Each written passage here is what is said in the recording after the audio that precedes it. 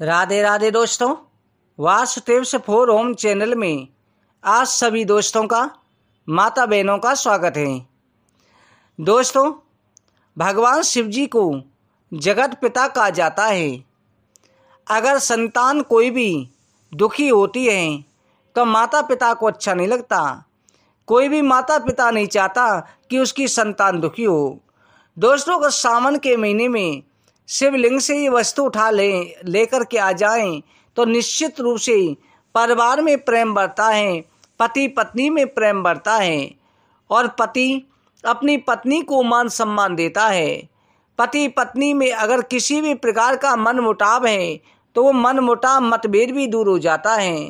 केवल पत्नी को सावन के महीने में या किसी भी महीने के सोमवार को इस उपाय को करना है। इस उपाय में करना यह है कि सब प्रथम जब भगवान शिव जी के मंदिर में जाएँ तो एक नारियल लेकर के जाएँ और जाकर के शिवलिंग पर आपको नारियल पूजा के साथ में चढ़ा देना है। उसके बाद में शिवलिंग पर चढ़े हुए इक्कीस दाने चावल के उठा लेने हैं। चावल के दाने जो होते हैं, इन अक्षत अन्नपूर्णा का स्वरूप माना जाता है। चावल के इक्कीस दाने उठा लें और अपनी मनोकामना बोलें। इसके साथ में पाँच बेल पत्र के पत्ते भी उठा लें।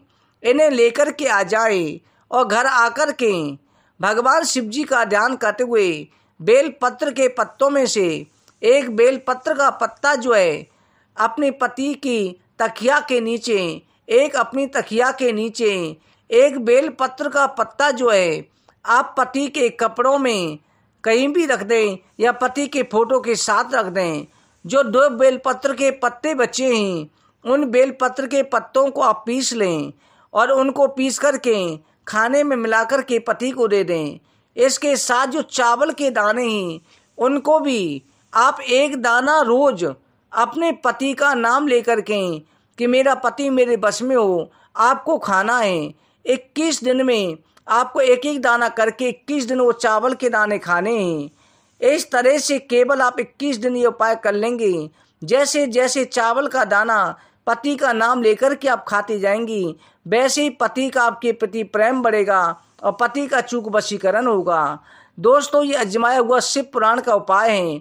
आप इसे ज़रूर करें, वीडियो को लाइक करें, शेयर करें, चैनल को सब्सक्राइब करें। आप सभी को राधे राधे